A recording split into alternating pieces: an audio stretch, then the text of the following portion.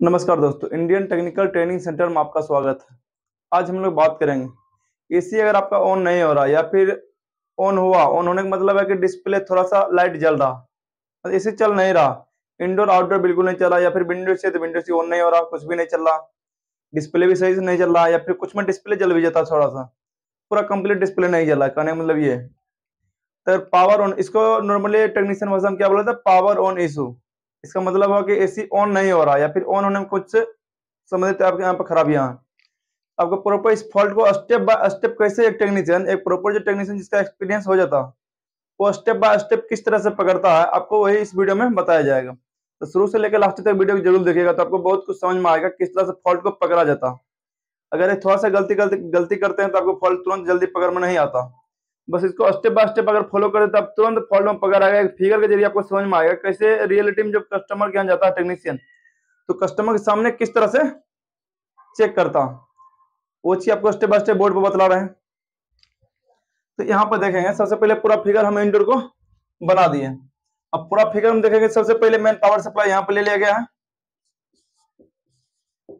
ठीक है?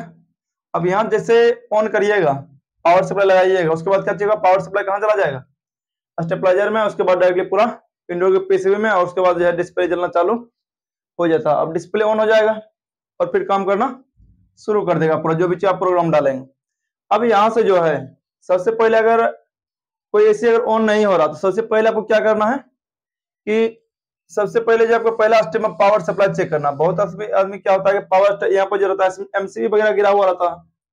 तो एमसीबी गिरा हुआ है तो यहाँ पर सॉकेट में पावर सप्लाई है ही नहीं और यहाँ पे एसी ऑन करे ऑन होगा नहीं आपको कभी तो सबसे पहला स्टेप में क्या आ जाएगा? पावर सप्लाई और पावर प्लग ये दोनों चीज़ आपको चेक करना। अगर ये नहीं आ रहा तो एक बार जाके एमसीबी आप एक बार चेक कर ले। अगर एमसीबी गिरा हुआ तो एक बार उठा करके उसके बाद चेक करें। इसके लगाने के बाद एमसीबी गिर भी रहा। कुछ एमसीबी ट्रिपिंग प्रॉब्लम अगला फॉल्ट में आपको बता दिया जाएगा। तो सबसे पहला स्टेप में क्या चेक करना? पावर सप्लाई और पावर प्लग जो हम लोग लगाते हैं बतर वो जला हुआ रहता। आपको उसको चेक कर लेना तो पहला स्टेप में ये आ जाएगा। दूसरा स्टेप आपको क्या चेक करना है? दूसरा स्टेप में स्टेपलाइजर चेक करना। अब एसी में स्टेपलाइजर क्यों लगाते हैं? वोल्टेज कंट्रोल करने वाला वोल्टेज घर में कम आ रहा और वही कम वोल्टेज पर एसी को चलाइएगा बार बार तो वहाँ पे क्या हुआ एसी आपका ट्रिप कर जाएगा एसी आपका बंद हो जाएगा एसी आपका खराब हो जाएगा।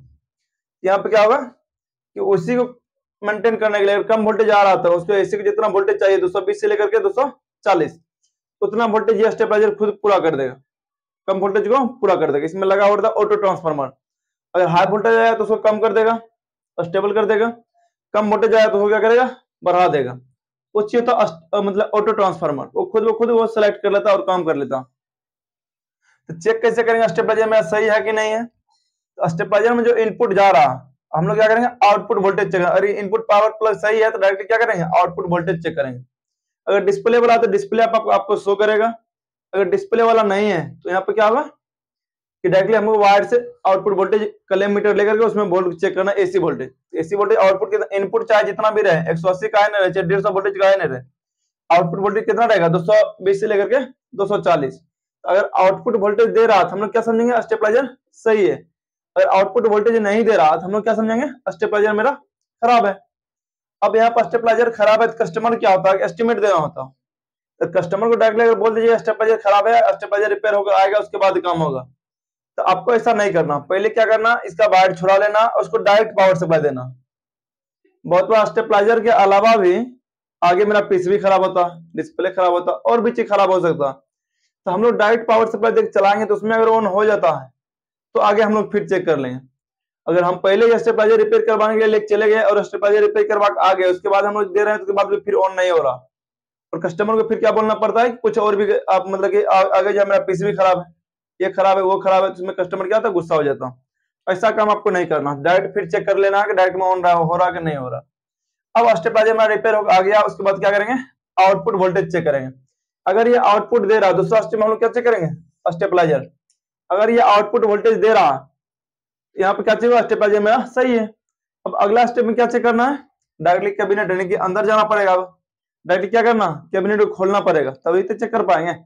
इससे बढ़िया सबसे पहले क्या करना? आगे कैबिनेट को पूरा खोलेंगे, तभी जाकर पीसीबी नज़र आएगा। ये पीसीबी तब जाकर नज़र आएगा, जब कोई डिस्प्ले पर सो रहा हो सो हो रहा होगा। आपको क्या करना आगे सबसे पहले? जो एसी में मैनुअली ऑन ऑफ़ बटन देता है लेकर के एसी में मैनुअली ऑन ऑफ़ बटन देता लेकर के तो आपको क्या करना डिस्प्ले में अगर बटन दिया तो ठीक है, नहीं दिया तो अगर पीसीबी में देगा तो पीसीबी बटन को दबा के देख लेना। उस बटन को दबाएँगे किसी कहीं पर आपको छोटा सा पॉइंट यहाँ पे दिया हुआ हो सकता। जो बाहर से पीसीबी से बाहर से ही आपको बंद चालू बंद चालू आप कर सकते हैं उस तरह से बनाया हुआ रहता। लेकिन अधिकतर में डिस्प्ले में देता लेकर के। तो पर आपको टिप करके देख लेना। तो मैनुअली ऑन ऑफ़ हो रहा नहीं हो रहा। उससे भी पहले आपको क्या करना है?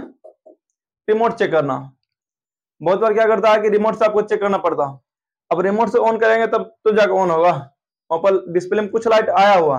बस आपको रिमोट दबाने जो है और वहाँ पर डिस्प्ले जल जाएगा। प्रोग्राम जैसे उसको सिग्नल मिलेगा यहाँ पर डिस्प्ले में लगा हुआ आई आर सेंसर क्या करेगा उसको? कैच करेगा और उसके हिसाब से तुरंत इसी को ऑन कर देगा। तो यहाँ पे क्या करना रिमोट चेक करना। तो रिमोट कैसे चेक करेंगे? अपना मोबाइल एक कैमरा लेना और उस कैमरा को लेकर क्या करना? आई कैमरा खोलना और रिमोट को ऑन ऑफ़ बटन दबाना। इस तरह जब करेंगे, क्या होगा वहाँ पे? रिमोट आपका कुछ लाइट जलेगा। जैसे बटन दबाएँगे, क्या वहाँ पे? लाइट जलेगा। जैसे लाइट जलेगा, हम लोग क्या समझेंगे? कि रिमोट मेरा सही है, वो सिग्नल दे रहा। इसका मतलब पीसीबी संबंधी कुछ खराबी हो सकता। अब जब रिमोट चेक हो गया मतलब तीसरा स्टेप क्या चेक करेंगे? रिमोट और चौथा स्टेप में मैनुअली ऑन ऑफ़ बटन ये ध्यान रखिएगा। पहला स्टेप में क्या चेक किया? Power supply and power plug दूसरा स्टेप में स्टेपलाइजर तीसरा स्टेप में रिमोट चौथा स्टेप में मैनुअली ऑन ऑफ़ बटन जो इसी के पीसी में देता या डिस्प्ले में देता। अब ये सब कुछ सही है, लेकिन फिर भी ऑन नहीं हो रहा सब करके देख ली। अब क्या करना? पूरा इंडोर कैबिनेट को खोल देना और पीसीबी को थोड़ा सा बाहर निकालना। ठीक है? पीसीबी को थोड़ा सा बाहर निकलना। और वहाँ पर जाने के बाद हम क्या करेंगे? बहुत बार जो है कि रिले कनेक्शन कोई अदर टेक्नीशियन आता है उससे पहले और वो काम करके चला जाता है उल्टा पुल्टा कर देगा। ताकि कस्टमर को परेशानी हो जाए। अगर वो हमसे काम नहीं करे तो किसी और से भी नहीं कराएगा। कोई और आएगा तो उसको भी बतलाएगा, यही फॉल्ट है। तो आपको क्या करना प्रॉपर एक स्टेप बाय स्टेप चेक करना। तब जाके फॉल्ट पकड़ में आएगा। तो आपको क्या करना है कि जो पावर सप्लाई आ रहा है न्यूट्रल न्यूट्रल पर ही जाएगा और फ़ेज़ इस रिले के दोनों पॉइंट में किसी एक पर इनपुट होगा किसी एक पर से आउटपुट होगा। तो किसी एक पर जो इनपुट होगा, वो मेरा कौन सा इनपुट होगा वो कैसे मालूम पड़ेगा? आपको क्या करना मल्टीमीटर लेना उसको कंटिन्यूटी रेंज में सेट कर लेना। और एक लीड को रिले के, ये एक लीड को फ्यूज पर रखना है मल्टीमीटर एक लीड को फ्यूज पर रखना है, दूसरे लीड को बारी बारी से रिले के दोनों पॉइंट पर रखना। जिस पॉइंट पर बीप का आवाज़ दे दिया, वो पॉइंट मेरा क्या हो जाएगा? इनपुट पावर सप्लाई हो जाएगा। समझ में आपको हो गया? जिस पॉइंट पर बीप का आवाज़ दे दिया, वो मेरा क्या हो जाएगा? इनपुट पावर सप्लाई हो जाएगा। और बच्चा हुआ सीधा आउटपुट जो आउटडोर के लिए हो जाएगा। अभी हमको आउटडोर को मतलब है नहीं। आउटडोर कुछ चेक करने की ज़रूरत अभी नहीं। पहले एसी तो ऑन कर ले, उसके बाद फिर आगे कुछ काम करेंगे। तो हमको क्या चेक करना है कि रिले कनेक्शन पचमा स्टेप में क्या चेक करना है? रिले का सही कनेक्शन है कि नहीं? उसके बाद रिले तक पावर सप्लाई पहुँच रहा है कि नहीं? ये पांचवा स्टेप में दोनों पॉइंट हो जाएगा। सही कनेक्शन और पावर सप्लाई यहाँ तक पहुँच रहा है नहीं? अगर यहाँ तक पावर सप्लाई नहीं पहुँच रहा तो बीच का कनेक्टर भी खराब हो सकता है या बीच का वायर भी खराब हो सकता है। आपको समझ में आ गया होगा? स्टेप बाय स्टेप अगर पावर सप्लाई नहीं पहुँच रहा है तो बीच का वायर खराब हो सकता स्टेबलाइजर से आउटपुट जो मेन पावर सप्लाई पीसीबी तक पहुँचता। अब क्या करना? अगला, पचवा, छठा स्टेप में फ्यूज चेक कर लेना। अगर फ्यूज खराब रहेगा तो पावर सप्लाई नॉर्मल आप सोच के देखिए। रिले तक पावर सप्लाई दे दिए लेकिन रिले के बाद कहा जाता है? पावर सप्लाई फ्यूज में फ्यूज में जाता है। लेकिन अगर फ्यूज खराब हो जाए पावर सप्लाई आगे बढ़ेगा ही नहीं। और जब तक पावर सप्लाई आगे नहीं बढ़ेगा तो मेरा क्या होगा? एसी ऑन ही नहीं होगा। आपको समझ में आ गया तो फ्यूज का सही होना ज़रूरी है। दूसरा स्टेप उससे अगला स्टेप सतमा जो प्राइम अब यहाँ तक समझिए फ्यूज सही है। अब क्या चाहिए होगा? अगर फ्यूज सही है तो क्या करना है? ट्रांसफार्मर चेक करना।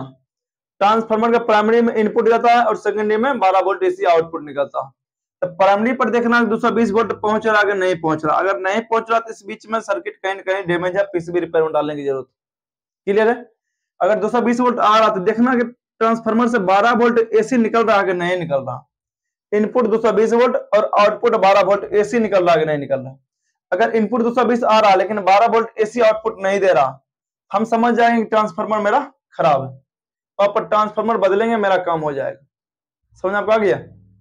तो उसके बाद क्या करना, अगर 12 वोल्ट एसी भी दे रहा, फिर भी एसी ऑन नहीं हो रहा, अब क्या करिएगा? अब तो फिर ऑन नहीं हो पाया, तब क्या करना?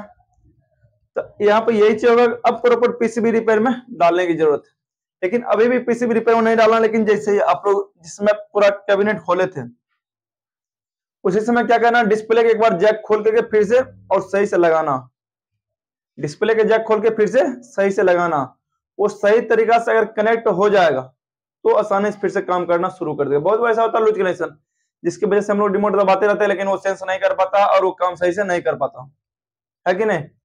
आपको एक बार डिस्प्ले जैक को सही से खोल करके लगाने की ज़रूरत है। उससे और आगे आप चेक कर पाइएगा, फिर आपको डायोड वगैरह चेक करना है। डायोड वगैरह यानी कि एसी डीसी कन्वर्ट करा नहीं करा जब तक बारह वोल्ट डीसी नहीं आएगा, तब तक आगे कुछ भी ऑपरेट होगा नहीं। इस तरह से प्रॉपर ये काम करता। उसके बाद अगर ये सब कुछ चेक कर लिए डिस्प्ले की जगह भी खोल के लगा दिए, अब फाइनली ये करना है कि आपको पीसीबी खोल करके रिपेयर में डालना। अब ये भी एक चीज़ और करना। अगर नॉन इन्वर्टर एसी तब पर उसमें भी सेम प्रोसेस है। अगर नॉन इन्वर्टर एसी है, आपको क्या करना है? पीसीबी रिपेयर में डालने से पहले ये तो कंफर्म हो गया पीसीबी रिपेयर में जाएगा पीसीबी रिपेयर में जाएगा। लेकिन एक चीज़ और करना है यहाँ पर रिले को डायरेक्ट करके रिले को डायरेक्ट करके क्या करना? आउटडोर भी चला के देख लेना कि आउटडोर मेरा चल रहा है कि नहीं चल रहा। अगर आउटडोर नहीं चल रहा है, हो सकता आउटडोर आउटडोर में भी कुछ प्रॉब्लम हो। अब आउटडोर को पावर सप्लाई दे रहे हैं। जो पीसीबी तीन मिनट बाद पावर सप्लाई छोड़ता है, वो हम डायरेक्ट दे रहे हैं। आउटडोर को चल जाना चाहिए। अगर फिर भी आउटडोर नहीं चल रहा तो समझ जाना आउटडोर में कुछ प्रॉब्लम है। आउटडोर को पूरा डायग्नोस करके उसके बाद ही कस्टमर को एस्टिमेट देना। यानी कि कस्टमर के पास जब भी जाना एस्टिमेट देने, यानी कि उनको इनवॉइस कितना रुपया इसी में खर्चा आएगा। तो जब भी जाएगा तो पूरा कंप्लीट शुरू से लेकर लास्ट तक चेक करने के बाद ही आपको उसके पास जाना। ताकि एक बार में जो हम लोग एस्टिमेट उसको दे दे, उस एस्टिमेट पे काम हो जाना चाहिए। ऐसा नहीं बाद में हम लोग कस्टमर के साथ करेंगे कि पहले इतना रुपया लाएगा, फिर दोबारा हम क्या बोलेंगे कि नहीं, इतना रुपया और लाएगा, फिर इतना रुपया और लाएगा। ये चीज़ आपको कस्टमर के साथ नहीं करना है। तो आसानी से आप लोग काम इस फ़ील्ड में आराम से टिके रहिएगा, शुरू से लेकर लास्ट तक। अगर वीडियो अच्छा लगे तो लाइक और सब्सक्राइब ज़रूर करिएगा।